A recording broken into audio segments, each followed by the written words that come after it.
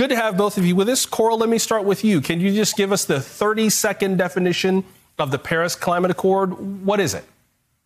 Sure. So um, the Paris Climate Accord was a deal reached in 2015, uh, binding almost every country in the world, over 190 countries, um, to an agreement saying every one of those countries would put forward a plan, which they did, uh, detailing how they would cut their carbon emissions, their greenhouse gas emissions domestically, um, and that every five years they would come back um, with a plan showing how they would increase those targets, how they would further kind of ratchet up, um, and also showing accountability, showing how they were were meeting um, meeting their own set target. Are there punishments if we don't hit the targets or incentives if we do?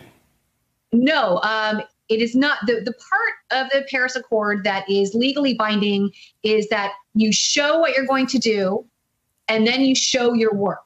And the idea, and, and but the targets themselves are not legally binding. There's no punishment if you don't meet it.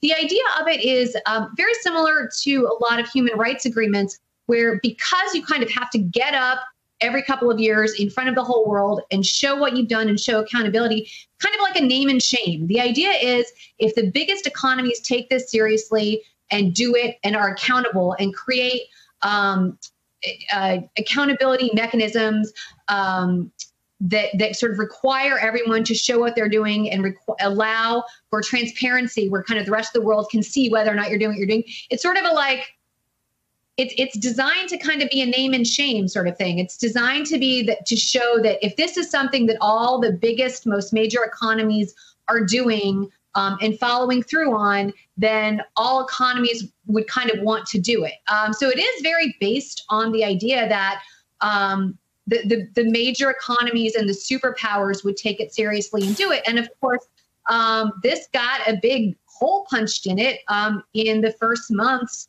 of the Trump administration. Um, the idea was this was sort of forged in part by the US and China, the world's two biggest economies and two largest emitters, saying we will do this. Right. And the first month the Trump administration, President Trump said, the US is out. We're not going to do it.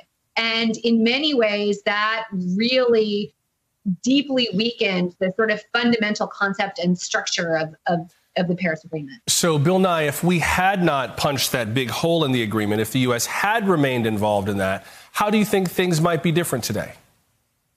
Well, the, the longest journey begins with but a single step. So, the United States, uh, as Coral mentioned, is the world's largest economy. So we have to be lead, or the United States. It would be better if the United States were leaders. But the, everybody in the world, uh, well, 196 countries, the conference of parties signed on to the Paris Accord because everybody in the world is concerned about climate change. And as I say all the time, if you talk to any young person, he or she is very concerned about climate change. The problem, I think, for conservatives, what has enabled the previous administration to punch a hole in it is this business uh, writ large of social justice, where people are resentful of the idea that if you contribute to the to lifting up let's say of a developing world country that means you've given them something and that must mean you've taken something from somebody else notably uh, people who the kind of person that may that perhaps stormed the US Capitol a few weeks ago and this perception is a real stumbling block, but it's science based. It turns out in the developing world, they want to have the same standard of living that people in the developed world had and that have. And that and we got here in the developed world by burning fossil fuels. But we can't do that. We we can't uh, keep burning fossil fuels. And this social justice component has just really caused trouble. The Paris Accord is full of a whole bunch of acronyms about your national development contribution, your long term uh, low emission goals, and so on. But it's all worked out, as Coral points out, in, in mutual trust. And, yeah. and this is a result of the big idea in science.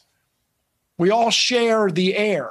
There's nobody on earth who doesn't breathe the atmosphere. Right. And so we just have to get past this. It's going to take a lot of working together. Yeah, I, I, hear you in terms of how social justice language can kind of be twisted or misinterpreted to kind of mean that, you know, you have to rob Peter to pay Paul. And by the way, my name is Paul. Uh, like it, it just feels like it is inherently inequitable as opposed to saying we all need air and water. If they don't have air and water, sooner or later we won't have air and water. Let's have air and water. And I get that. Before I have to let y'all go, Bill, what should we know now about how the climate is doing broadly? Are there any oh, recent man. climate stats that stand out to you? Like, is there one maybe that kind of typifies how we're doing right well, now? Okay. Okay. I bet. I know that's a mean question to ask. I'm sorry. I bet two notor. I offered to bet two notorious climate change deniers ten thousand dollars each twice. I was willing to offer them forty thousand dollars. And one of the bets was 2010, 2020 would be the warmest decade on record. And sure enough, of course it is. Not of course it is, but sure enough, it is because we keep pumping carbon dioxide and methane, uh, natural gas, into the atmosphere. And so the world's getting warmer because the greenhouse effect, which keeps the ocean liquid, that's good. But if you have too much of it, too much of a good thing, you end up warming the planet. And as I tell everybody all the time, it's not just that it's warming, it's the speed at which it is warming, it's the rate that's so troubling. And for everybody out there, the problem is if you allow the developing world to continue to burn coal and fossil fuels to get their standard of living uh, approaching what we have in the developed world, it's going to be a catastrophe. And so the Paris Climate Accord is uh, intended to try to keep the world from getting one and a half degrees warmer and certainly not two degrees. These are Celsius numbers, like everybody uses. But four or five degrees Fahrenheit is really bad. So the sooner we get on this, the better. And as a guy born in the US, I mean, I, Joshua, look, look at me. I'm the dorkiest man of my ancestry you're ever going to meet. Okay. I have had every advantage imaginable. But what we want, what I'm still a patriot. I want the US to lead the world in these technologies.